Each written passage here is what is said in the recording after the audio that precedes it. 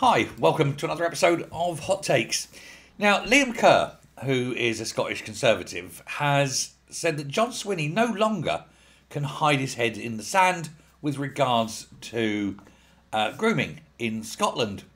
Uh, there was a, a group of uh, five Romanians were jailed for a total of 68 years, not long enough, um, which goes to prove that these things do exist and happen in Scotland. Uh, Swinney seems to be in a state of denial over this, but they've been told, the, the, the, the uh, SNP have been told, to stop pretending that organised sexual abuse is an English only problem. Um, there are gangs operating within Scotland, of course, but Swinney and the rest of his SNP cohort um, and the Greens refuse to back an amendment to the Victims Bill that would have seen an inquiry. They don't want an inquiry. My my guess is they don't want an inquiry in Scotland for the same reason they don't that Labour don't want an inquiry in England and Wales because they know that the finger would be pointing straight back at them, especially Swinney. In my opinion.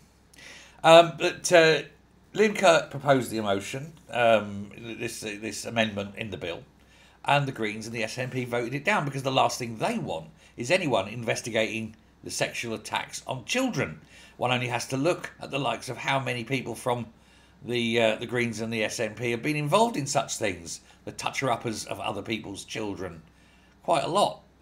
Uh, these vile predatory creatures um, need to be fully investigated. I'm talking about the uh, the offenders now, not just the SNP. They definitely are vile predatory creatures. But they don't want this, and it is appalling.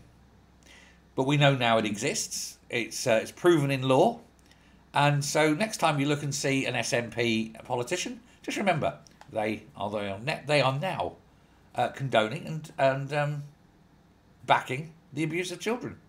They don't want any inquiry. They don't want anyone to stop it. They want it to continue.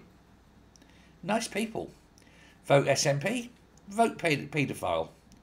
That's what the P stands for, isn't it? Thanks very much.